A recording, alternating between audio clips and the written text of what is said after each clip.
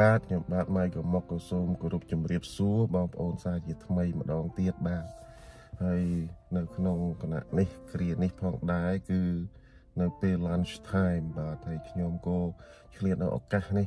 ដើម្បីធ្វើនៅខ្សែវីដេអូនេះថ្លែងអំណរគុណទៅដល់បងប្អូនដែលជាសប្បុរសជន បាទមានបងផលព្រមទាំង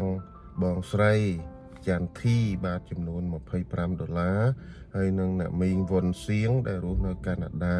20ដុល្លារដែរបាទក៏សូមថ្លែងអំណរគុណចំពោះទឹកចិត្តដ៏ថ្លៃថ្លានេះដោយសារឃើញគាត់មានការលំបាកវេទនាយ៉ាងនេះបាទក៏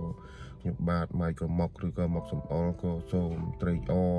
នៅចំណែកនៃសេចក្តីល្អនេះផងដែរបាទហើយនឹងខំផ្សព្វផ្សាយ នៅព័ត៌មានឬដំណឹងទាំងអស់នេះចែកជូនទៅដល់អ្នកទាំងអស់គ្នាបានដឹងហើយយើងមានទឹកចិត្តអាណិតអាសូរទៅដល់ពួកគាត់នឹងជួយរំលែកនៅសេចក្តីទុក្ខឬក៏ជួយឲ្យបានសុខជាអន្លើអន្លើបាទតែតែមានទឹកចិត្តល្អល្អដើម្បីចែករំលែកនៅសេចក្តីសុខកើតមកពីអំពើល្អដែលយល់ថា ធ្វើល្អបានល្អធ្វើអាក្រក់បានអាក្រក់បាទតែហេតុផលខ្ញុំបាន លើកបញ្ជាក់នៅខ្សែវីដេអូយ៉ាងច្រើនខ្សែបាទជាហេតុដូចម្ដេចបានយើងត្រូវធ្វើសេចក្តីល្អហេតុដូចម្ដេចបានយើងត្រូវចែករំលែកនៅសេចក្តីសុខហេតុដូចម្ដេចដែលនាំឲ្យកើតនៅសេចក្តីសុខបាទហើយយើងនិយាយអំពីសម្លេងបាទកាលណាសម្លេងផ្អែមពីរោះ នោះក៏ជាការចែករំលែកមួយដែរហើយសម្លេងមួយទៀតគឺมันមាននៅ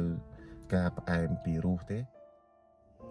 បាត់យូរមែនឆ្នាំអាចងាក់ម្ដងហ្នឹងខែមុនខ្ញុំអត់បានមកអមដោយសារខ្ញុំចូលពេទ្យខ្ញុំខ្ញុំឈឺឈឺចូលពេទ្យអាវះកាត់អីច្រើនហើយខ្ញុំឈឺចកេះដើររួចអូបាទគាត់រស់នៅទីក្រុងគាត់រស់នៅរដ្ឋ ទីក្រុង Washington State បាទបាទនៅសហរដ្ឋអាមេរិកហើយក៏ខ្ញុំបានពំនាំថាការបន្ទិញទូចដើម្បីដោះស្រាយនៃជីវភាពឃើញថាជីវភាពបាទអ៊ំស្រីនិងអូនស្រីគាត់មានជីវភាពសត្វសោយអញ្ចឹងក៏ដកថាការគាត់ខ្លះខ្លះជូនទៅដល់អ្នកទាំងពីរបាទដើម្បីដោះស្រាយនៃជីវភាពខ្លះខ្លះបាទអញ្ចឹងលោកអ៊ំក្មួយក៏មានថាការរបស់លោកពូលោកតៃស៊ីវនិងអ្នកមីងរ៉ាប់សុផាន់បាទ ជូនម្នាក់បន្តិចបន្តួចបាទ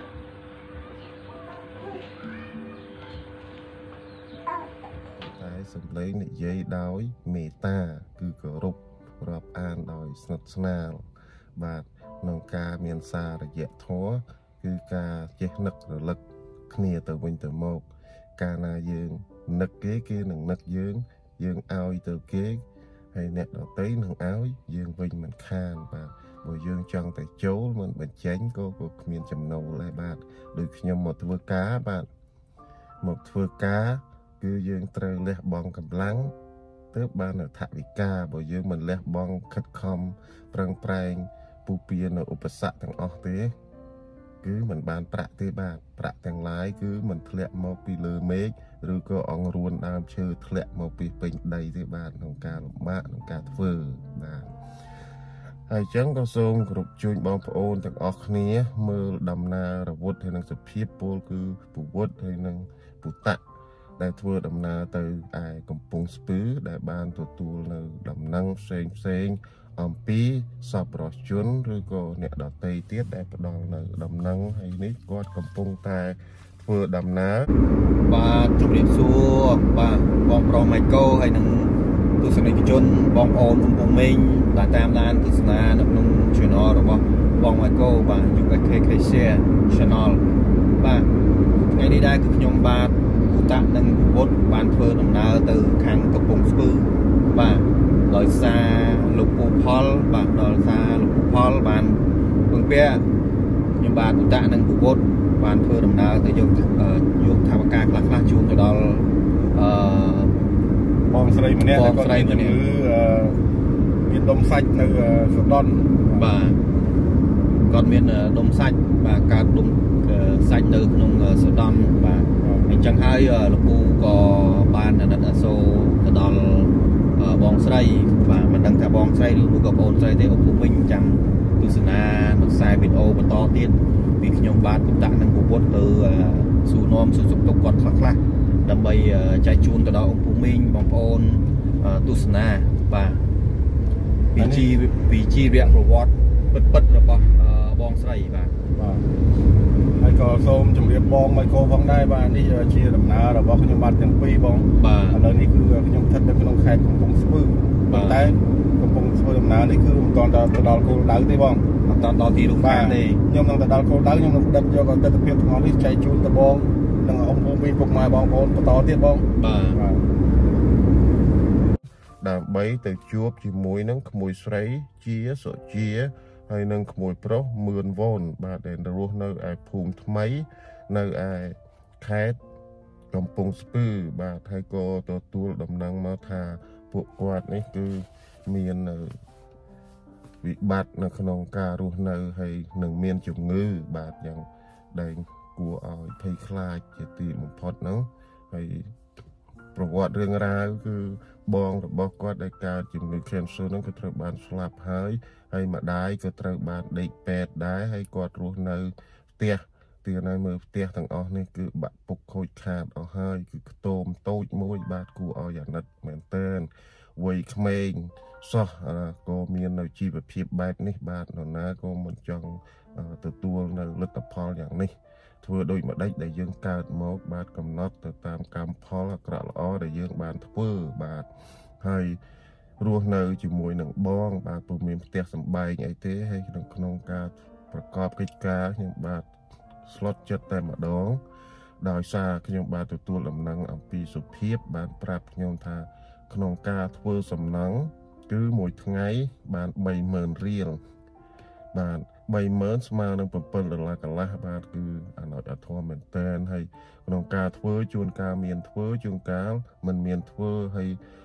គាត់នៅវ័យក្មេងអាយុទាំងពីរនាក់នោះ30ប៉ុណ្ណោះបាទហើយគ្មានឱកាសដើម្បីនឹងលូតលាស់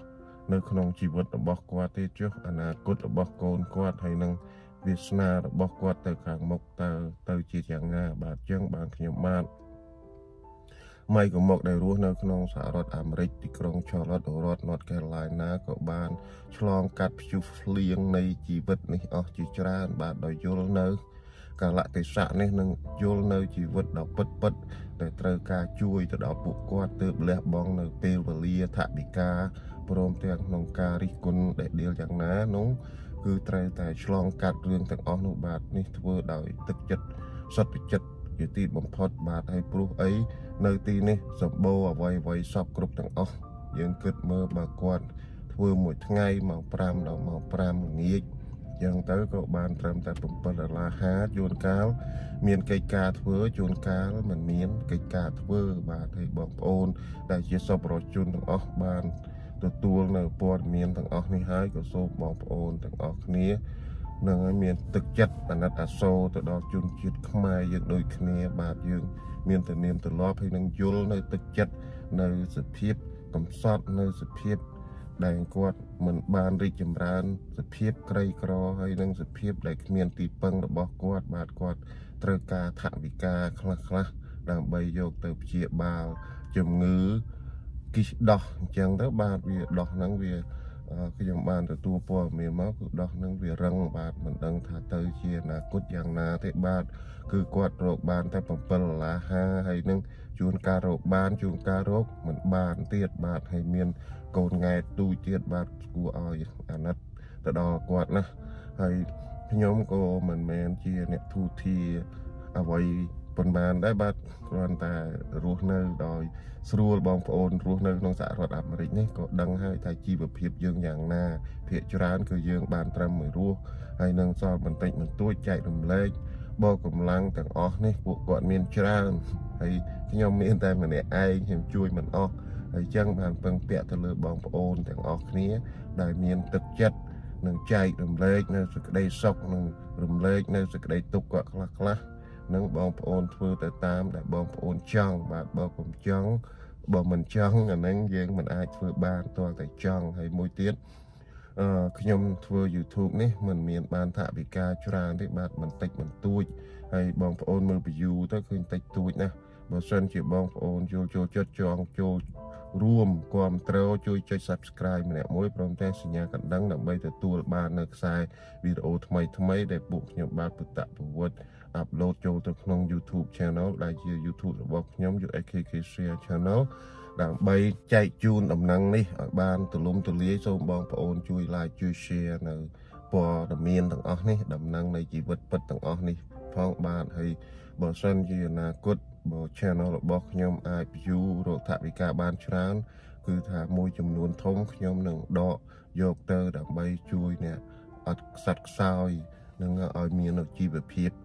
គ្រាន់បើនឹងជួយទៅដល់អ្នកដែលត្រូវការយើងជួយនៅក្នុងការដែលមានជំងឺនិងវិបត្តិផ្សេងផ្សេងជីវិតនេះมันកំណត់នៅលើយើងទេបាទកំណត់នៅលើអំពើអាក្រក់និងអំពើល្អដែលយើងបានធ្វើពីអតីតកាលព្រមទាំងក្នុងបច្ចុប្បន្នកាលបាទហើយខ្ញុំបាទក៏មានការរៀបរាប់សេចក្តីធ្វើការ review ខ្សែវីដេអូនេះមានប្រមាណប៉ុណ្ណេះបាទក៏សូម អព្យាស្រ័យរាល់កំហុសឆ្គងហើយក៏ដល់ម៉ោងត្រឡប់ទៅធ្វើការវិញហើយហើយក៏សូមឲ្យបងប្អូនទាំងអស់គ្នាសុខកាយសប្បាយចិត្តគំនិតល្អប្រាជ្ញាឆ្លៀសវៃធ្វើអ្វីអ្វីបានជោគជ័យហើយនឹងរកនៅប្រកបមុខរបរបានធូធាមាននៅទ្រព្យសម្បត្តិហូហៀចាយមិនអស់ហើយស្រណោះទៅដល់អ្នកក្រីក្រ មានការបរិច្ចាគចែករំលែកនៅសេចក្តីសុខទៅដល់ពួកគាត់ផងដែរបាទ ក៏សុខសប្បាយទាំងអស់គ្នាអញ្ចឹងខ្ញុំបាទម៉ៃកមុកឬមុកសំអល់រស់នៅក្នុងសហរដ្ឋអាមេរិកទីក្រុង Charlotte រដ្ឋ North Carolina ក៏សូមគោរពលាបាទ